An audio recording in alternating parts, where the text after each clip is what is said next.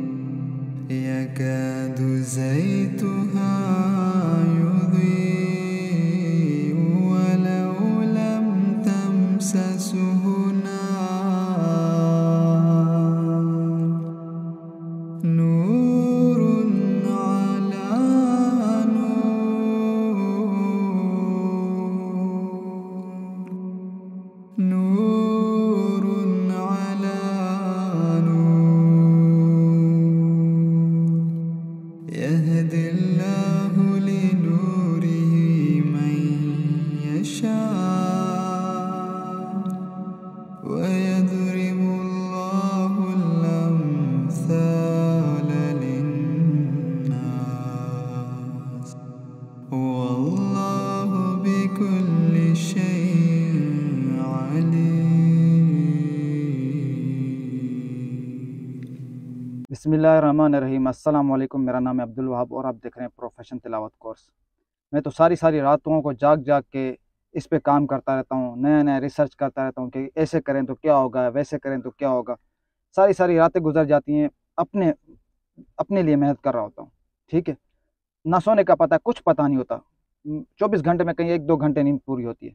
ये सिर्फ़, बताने का मकसद सिर्फ़ आप लोगों को इतना है कि मैं तो तलाश करता हूँ ढूंढता हूँ, देखता हूँ, ऐसे करें तो क्या होगा, वैसे करें तो क्या होगा।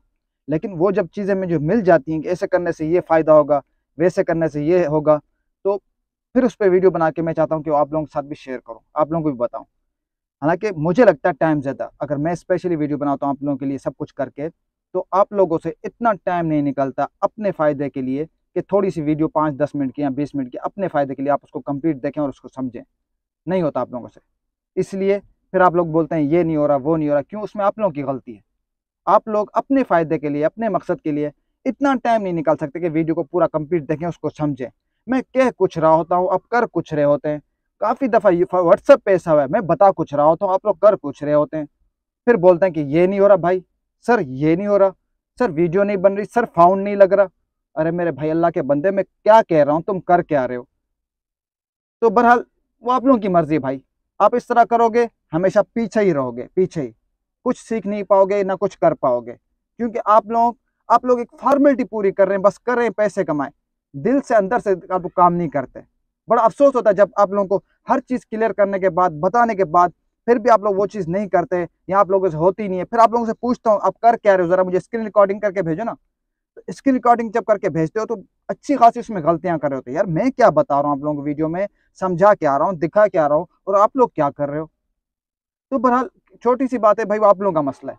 मेरा काम है बताना, सीखना, ना सीखना, वो आपका काम है। नहीं हो रहा, सर, आपसे हो रहा है, हमसे नहीं हो रहा, वो आप लोगों की गलतियाँ वो आप लोगों की गलतियाँ बच्चे तो नहीं ना आप लोग, कि डंडा पकड़ के आपको मार के बताऊँ कि भाई ऐसे करो। करोगे तो आपका फ़ायदा नहीं करो तो आपका आपका मसला है। तो मैं अपने फ़ायदे के लिए अलहमदिल्ला रातों रात जागता हूँ। ना, बताऊँ हालत हो जाती है मेरी। लेकिन ये जो आप लोग सुनते हैं साउंड क्वालिटी ये सब कुछ, ये ऐसी चीज़ नहीं बन जाती।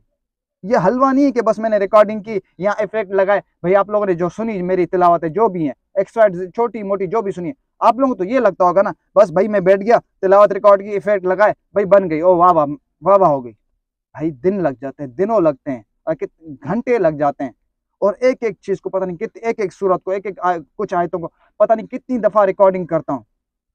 सब कुछ परफेक्ट होने के बावजूद भी मेरा तर्ज हर चीज़ हर चीज़ फिर भी पता नहीं कितनी दफ़ा रिकॉर्डिंग करता हूँ।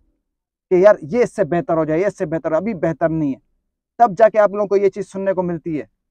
आप लोग समझते हैं, बस ये हलवा है, ऐसा नहीं है। हर चीज़ देने के बाद भी आप लोगों की वो चीज़ नहीं हो रही होती, वो आप लोग की अपनी गलतियाँ अभी मैंने जैसे एक नई चीज़ देखी है, सुनी है, या मैंने खुद सीखी है, मुझे उसमें फ़र्क नज़र आया, फ़ायदा नज़र आया कि अब तक हम गलती कर रहे थे। हमें ये नहीं करना चाहिए था।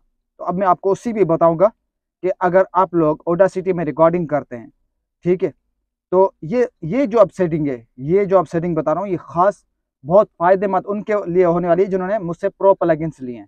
बहुत ज़्यादा ज़मीन आसमान का फ़र्क है। मैं आपको दिखा तो नहीं सकता, आप खुद ज़रा ट्राई कीजिएगा, ठीक है? हालाँकि मुझे तो ये चीज़ बिल्कुल नहीं लगानी चाहिए, मुझे तो इसका इस्तेमाल ही नहीं करना चाहिए। क्यों?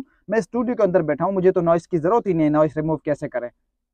लेकिन फिर भी मैं करता हूँ, लेकिन अब मैं वो भी नहीं करूँगा, मैं इसका भी तजुर्बा करूँगा। पहले तो एक चीज़ मैंने चेंज की है, लेकिन अब चाहूँगा कि बिल्कुल इसको यूज़ ना करूँ। लेकिन अगर आप लोग रूम में हैं घर में हैं आपके पास आस बहुत ज़्यादा नॉइस है तो आप पहले कोशिश करें कि इस तरह करें ना तो फिर वो पुराना वाला तरीका इस तरह आजमाएँ ठीक है? लेकिन पहले इस पर करें क्योंकि बहुत ज़्यादा फ़र्क पड़ेगा। अभी मैं आपको बताऊँगा कि ऑडियो ओडासिटी में ओडासिटी में जब आप लोग तिलावत रिकॉर्ड करते हैं तो उसमें मैंने जैसे कहा कि सिर्फ़ नॉइस रिमूव करके सेव करके आप बाकी का, काम जो है एफ़ स्टूडियो में करें। अब उसकी नॉइस आपने कैसे रिमूव करनी है? वो आपको मैं तरीका बताऊँगा। पहले वाला तरीका नहीं है। उससे बहुत ज़्यादा नुकसान हो रहा है। बहुत ज़्यादा फ़र्क आ रहा है इफ़ेक्ट लगाने के बाद। यानी इतनी छोटी छोटी चीज़ों पर मतलब इतना इतना फ़र्क पड़ता है। हम इस चीज़ को नोट नहीं करते, लेकिन ये जो है ना ये ये बता देता है कि भाई बहुत बड़ा फ़र्क आ रहा है। अगर आपके पास चीज़ ओरिजिनल हो ना रिकॉर्डिंग वाली और सुनने वाली तो आपको पता चल जाता है, ज़मीन आसमान का फ़र्क पता चल जाता है। तो इतने से छोटे से फ़र्क में मुझे पता चला कि अब तक हम लोग जो ना, पता नहीं क्या कर रहे थे। अब मैंने क्या किया है आपको मैं लैपटॉप की स्क्रीन में दिखाऊँगा कि अब आपने तिलावत करके, तिलावत का तरीक़ेकार वही है रिकॉर्डिंग का वही है, लेकिन नॉइस रिमूव करने का अब चेंज है। अब आपने नॉइस कैसे रिमूव करनी है? अगरचे अगरचे आपके पास आस पास ज़्यादा नॉइस नहीं है तो आप इस तरह करें। ज़्यादा नॉइस है, फिर दूसरा हल यही है, पुराना वाला तरीका है। ठीक है? चलते हैं लैपटॉप की स्क्रीन पे और सीखते हैं। भाई देखें, मेरा काम है आप लोगों को बताना। मैं तो बड़े, बड़ी इसके लिए मेहनत करता हूँ, क्योंकि भाई मैं अपने काम को, अपने काम को दिल से चाहता हूँ। दिल से चाहता हूँ और दिल से करता हूँ। आप लोगों की तरह जान छोड़ाता नहीं हूँ। जान छोड़ाते हैं, इसलिए आप लोग, आप लोगों से कुछ नहीं होता। इसलिए आप लोग पीछे रहते हैं। वो आपका मसला है। मेरा काम है बताना बस, ख़त्म बात। क्योंकि मेरा, आप लोगों को प्लगइन्स दे दिए, उसके बाद सब चीज़ें दे दी, उसके बाद भी मेरा काम है तो मैं मैं अपने काम पे फोकस करूँ, मुझे क्या ज़रूरत है आप लोगों को बताने की भाई? है ऐसा कोई बंदा मिलेगा आपको? यार, हर कोई चाहता है कि मैं अलग दिखूं यूट्यूब से। मैं यूट्यूब पे बिल्कुल ही चेंज हूँ। हर हर कोई एक जैसा हो जाएगा तो मुझे पता है फ़र्क क्या रह जाएगा, लेकिन ये चीज़ मेरे अंदर नहीं है। मैं चाहता हूँ जितना मैं सीख रहा हूँ, वही आप लोगों को सिखाऊं। बहरहाल, मर्ज़ी आपकी। आपको तो मेरे ख्याल से ये लेक्चर भी मेरे बुरे लगते होंगे, लेकिन वो आप अपने काम के खुद ही आप दुश्मन है। चलते हैं लैपटॉप की स्क्रीन आपको दिखाता हूँ अब ये तरीका आप लोगों ने करना है। ठीक है भाई, हम आ गए। ओडासिटी आपने ऑन करना है सबसे पहले। ठीक है माइक मेरा ऑन है, ये देख सकते हैं ग्रीन लाइट जल रही है। ठीक है, काफ़ी दोस्तों ने कहा कि स्क्रीन रिकॉर्डिंग करो, उसका भाई मैंने एक दफ़ा ट्राई किया था, लेकिन मुझसे नहीं नहीं हुई। लेकिन मेरी कोशिश है, आप लोगों को जूम कर करके दिखा रहा हूँ। आप लोगों को चीज़ समझ आनी चाहिए। आप स्क्रीन रिकॉर्डिंग में आपने क्या चाह रहे हैं? आप ग्राफिक क्या क्या उसमें निकालना चाह रहे हैं? ठीक है? जो कि तरीका है, जो भी आपकी डिवाइस होगी ओटासिटी खोलने के बाद जो भी आपकी डिवाइस होगी, लगी होगी, वो आपने यहाँ सेलेक्ट करनी है। ऑडियो सेटअप में जाना है ऑडियो सेटिंग में। इधर आ रहे हैं, जैसे कि मेरा सैमसंग जी ट्रैक प्रो लगा हुआ है तो ये यहाँ पे सिलेक्ट है, यहाँ पे। इन दो पोर्शन में आपकी जो भी डिवाइस होगी, आपने वो सिलेक्ट कर लेनी है। और यहाँ यहाँ मोनो सिलेक्ट करना है। अगर आपने मिक्सिंग एफएल स्टूडियो में करनी है तो मोनो सिलेक्ट करना है। अगर ओडासिटी के अंदर काम करना है तो स्टेरियो सिलेक्ट करना है। यहाँ दो ऑप्शन मिल जाते हैं आपको स्टेरियो और मोनो ठीक है? मैं मोनो करता हूँ क्योंकि मुझे एफएल स्टूडियो में वर्क करना होता है। ठीक है? वहाँ स्टेरियो मिल जाता है ऑटोमेटिकली ओके अब ज़रा देखिएगा। रिकॉर्डिंग से पहले जब इसको क्लिक करेंगे क्लिक करते ही क्लिक करते ही फ़ौरन रिकॉर्डिंग नहीं करनी, थोड़ा स्पेस छोड़ना है ताकि नॉइस रिमूव करें। ठीक है? बल्कि वो चीज़ अब ख़त्म हो गई। अब मेरी बात सुनिएगा, अगर आपके आस पास बहुत ज़्यादा नॉइस है तो आप पुराना वाला वो आजमाए, जैसे मैंने पुराने तरीके में बताया कि नॉइस कैसे रिमूव करेंगे लेकिन जो नया है नया है, इसमें बहुत ज़्यादा फ़र्क पड़ता है, बहुत ज़्यादा। कोशिश करें इस पर कोशिश करें, आप खुद ही करके दीजिएगा। पुराना आप देखें, इसमें देखें, आप खुद ही फ़र्क नज़र आएगा, मुझे आया है, ठीक है? अभी शुरू करते हैं।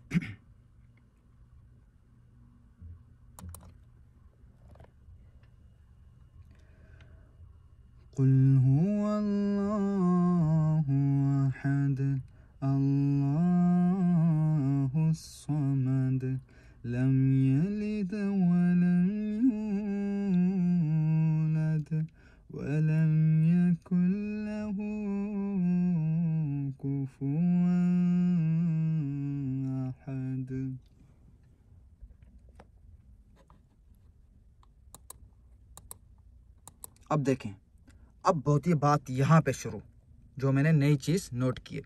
अच्छा मैंने एक और चीज़ कही थी कि जो सांस की आवाज़ आती है, हम लेते हैं, कोई मसला नहीं, इसको रिमूव ना करें, रहने ठीक है? कोई मसला नहीं है। इससे भी थोड़ा क्वालिटी ख़राब होती है, ठीक है? मैंने अब ये भी, ये जो मैंने पिछली वीडियो में बताया था, यहाँ से रिमूव करनी है। कोशिश करें, आप खुद ही कंट्रोल करें, आप ना ज़्यादा वो करें कि आपकी आवाज़ पकड़े, लेकिन पकड़ता है, कोई मसला नहीं है, खैर है। ठीक है, इसमें मेहनत भी ज़्यादा है और मेरे ख्याल से इससे भी साउंड क्वालिटी ख़राब होती है, ठीक है, जो हम इफ़ेक्ट लगाते हैं प्रो प्लगइंस लगाते हैं या नॉर्मल अगर आप नॉर्मल पे काम करें तो भी फ़र्क आएगा, अगर आपने प्रो प्लगइंस मुझसे लिए हुए, उस पर भी फ़र्क आएगा, ठीक है। पहले तो हम इसको एक्स्ट्रा चीज़ ये है एक्स्ट्रा ज़्यादा है इसको काट देते हैं।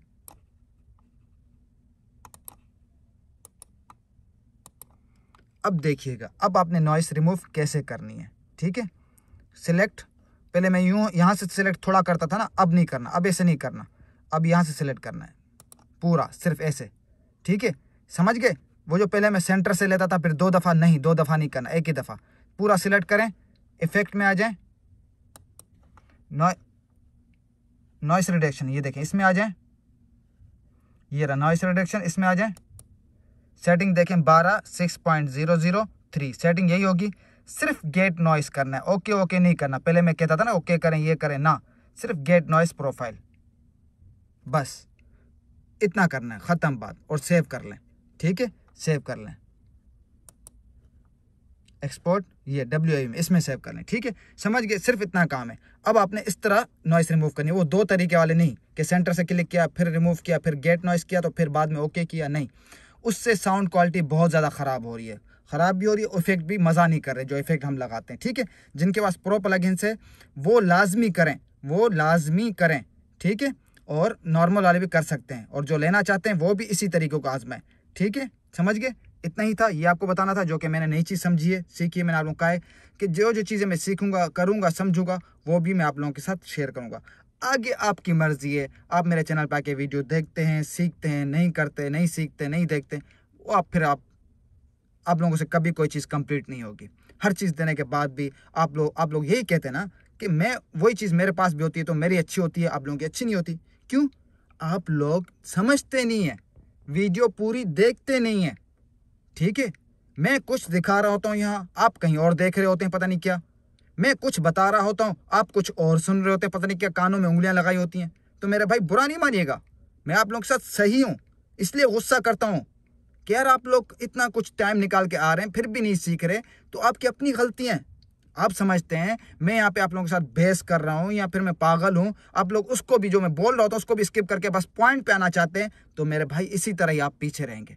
मैं जो बोलता हूँ, फजूल नहीं बोलता, आप लोगों के फ़ायदे के लिए कहता हूँ। बहरहाल मर्ज़ी आप लोगों की, मेरा काम है बताना, फ़र्ज़ है मेरा, आगे आप लोगों की मर्ज़ी। मिलते हैं नेक्स्ट वीडियो में नेक्स्ट टॉपिक के साथ कोई और चीज़ पता चली तो हालाँकि मुझे कुछ और आज अपलोड करना था, लेकिन ये चीज़ पता चली तो मैंने कहा, फ़ौरन से पहले आप लोगों को बता दूँ। आप बेचारे मेहनत कर रहे होंगे, आप लोगों से चीज़ बन रही होगी, ठीक है? मिलते हैं नेक्स्ट वीडियो में, वीडियो अच्छी लगी हो तो लाइक और कमेंट्स कर दीजिएगा। अगर बुरा लगा हो मेरा इस तरीके से बात करना तो माजरत चाहता हूँ मेरे भाई, क्योंकि मेरी मजबूरी है, आप लोग समझते नहीं है तो ज़ाहिर सी बात जब शागिर्द समझता नहीं है, जब बच्चा समझता नहीं है तो बंदा फिर बाप बच्चे को इसी तरह फिर समझाता है। यही आखिरी हल है। अब सामने तो हो नहीं नहीं तो मैं आप लोगों को बता देता सीधा। ठीक है बहरहाल मर्ज़ी आपकी। ठीक है, सीख जाओगे तो अच्छी बात है, नहीं तो फिर आप इसी तरह ही रहोगे। मिलते हैं नेक्स्ट वीडियो में तो अपना ख्याल रखिएगा। अल्लाह हाफिज़।